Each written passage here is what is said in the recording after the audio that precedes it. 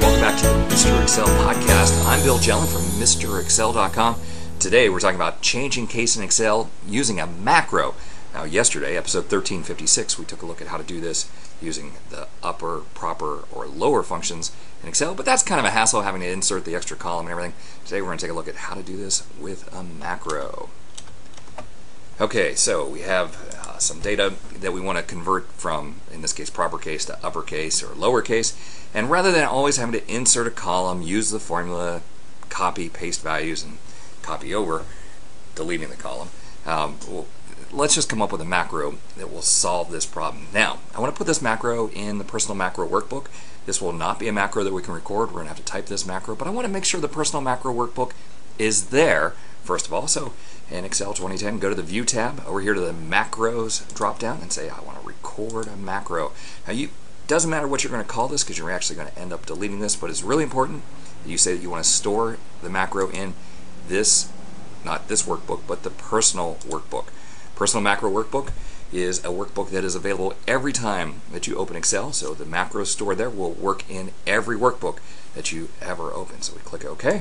And then we're just going to do something very innocuous, just maybe apply bold. All right, just something really simple to make sure that we get a macro there. The stop button's right down here next to ready.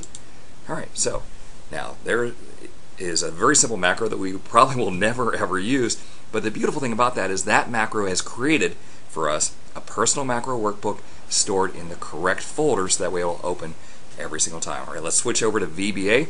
To do that, we do Alt F11 Here's our VBA window. It's just big and gray and intimidating.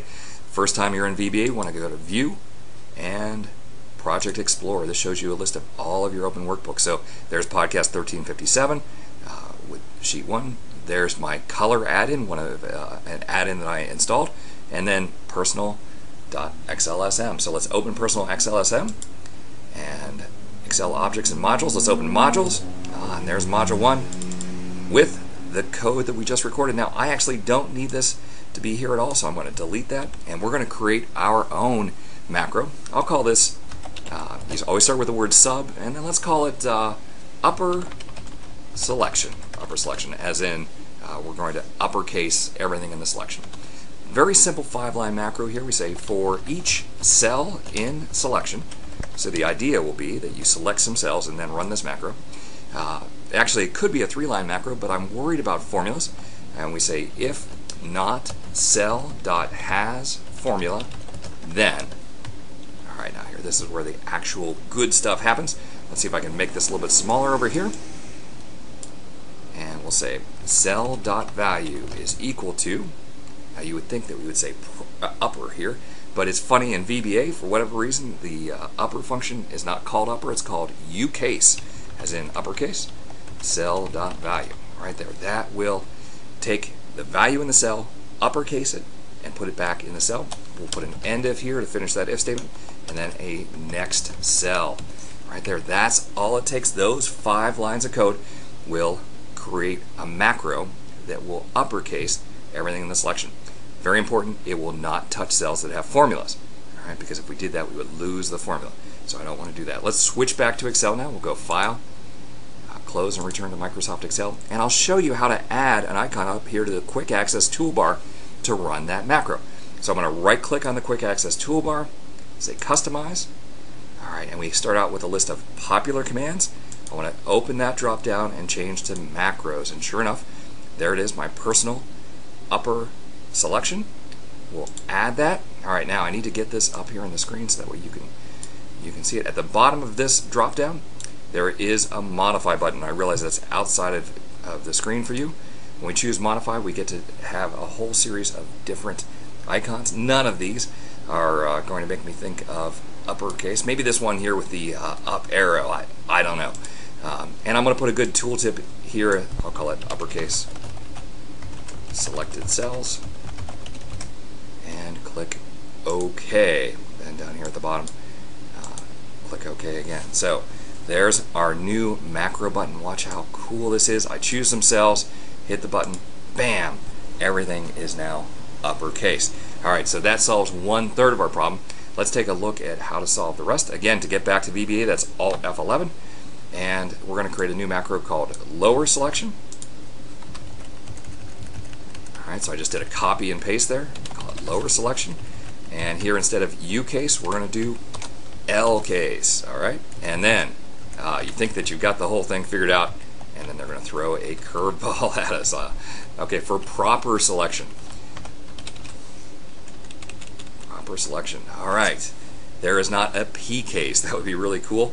But when VBA doesn't have a function and Microsoft Excel does have a function, we get to use that function with a little bit of extra work. All right, so I'm going to put an underscore there that lets me go to a new line, and I'm going to say application, another underscore, dot worksheet function,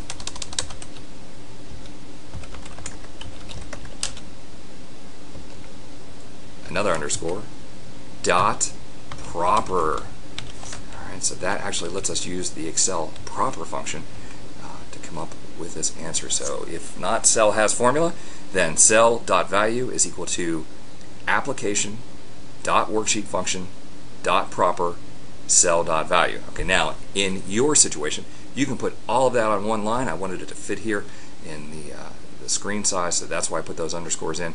Uh, in real life, one big long line that stretches out there to the right. Now, of course, uh, back in Excel, we are going to add a couple of more items to the Quick Access Toolbar. Let's do that. Customize Quick Access Toolbar. Again here, choose macros. Okay, then after choosing macros, I'm going to choose lowercase. I'll add it to the Quick Access Toolbar and we'll modify that. I'm going to go with the uh, down arrow for this one and lowercase, selected cells. Alright, I'm already thinking ahead to proper. I have no idea uh, which one is, which icon is going to remind me of proper. It's just really, uh, uh, usually it's used for names, so let's put the person in there. I, whatever, whatever will work for you. Uh, we'll go to proper case, selected cells. Click OK, click OK. Now the beautiful thing about this macro is you only have to do this once. Once you've done it, those icons will be up there all the time. Uh, let's try it out. Let's try and go to lowercase. Ah, perfect. Or proper case. Look how easy that is. You'll never have to insert new columns, use the function, convert to values, and copy back. Uh, excellent, excellent way to go. Again, it'll take you, uh, you know, five minutes today or tomorrow to get these macros in your personal macro workbook. Once they're there, good to go. Well, hey, I want to thank you for stopping by. We'll see you tomorrow for another netcast from Mr. Excel.